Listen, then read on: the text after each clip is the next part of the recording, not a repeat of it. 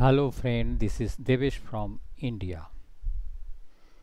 Tomorrow Tuesday at 10:30 pm Indian Standard Time I'll be chatting with Anshul Avasthi on the topic how artificial intelligence will shape the future of SaaS or software as a service.